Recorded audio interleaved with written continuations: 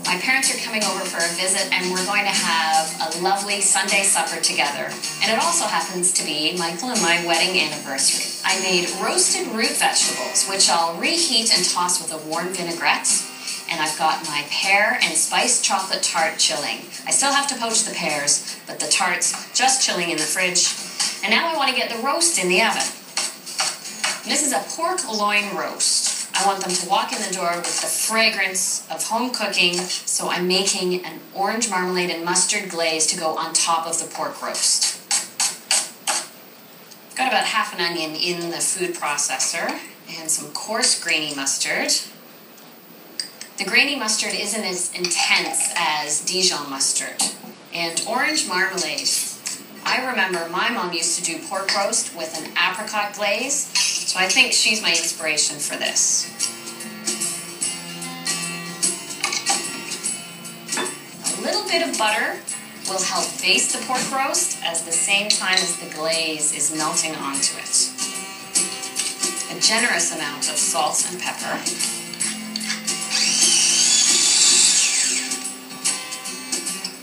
Mmm, that smells good. The orange and the mustard together is a natural combination.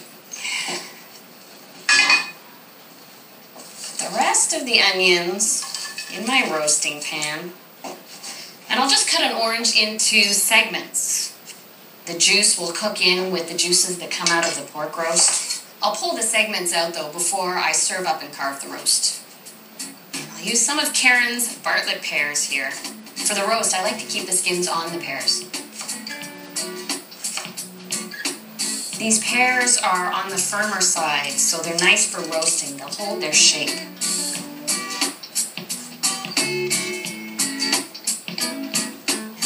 Bit of fragrance to add some fresh herbs. A bit of sage, thyme. This is a beautiful pork loin roast.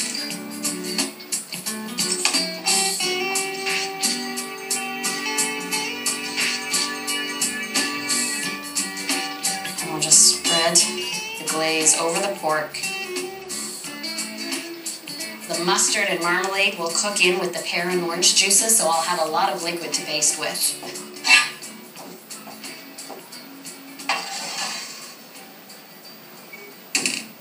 I leave the roast in the oven for about 15 minutes at 375, then I turn it down and let it slow cook. Within 20 minutes, the house is going to be smelling fabulous. And the last thing I have to make are the poached pears that I'll slice and put on top of the tart. I use equal amounts of sugar and water to poach the pears.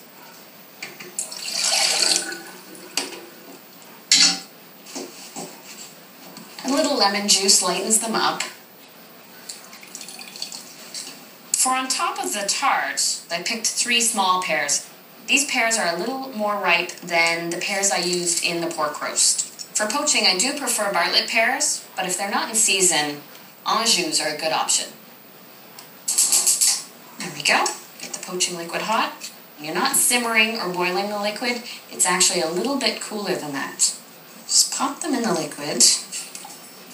Pears have a tendency to float in the poaching liquid and they won't cook evenly. So a great trick is to put a lid right on the surface of the liquid, and I make that from parchment. As the poaching liquid warms and rises to the top, it catches the parchment, floats over the pear, and back underneath again.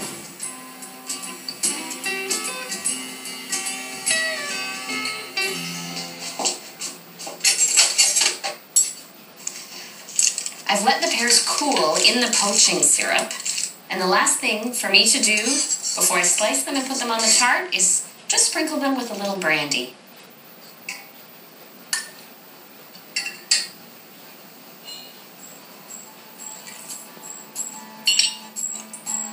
This will make a special finish to the evening.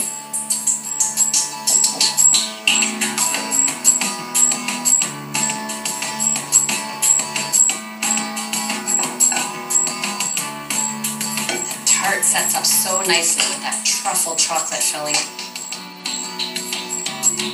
Poached pears are pliable, so I can shape them on the tart as I need to.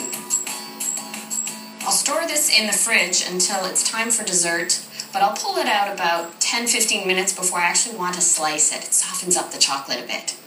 I've got everything for supper ready. Now to get myself ready. My parents should be here any second.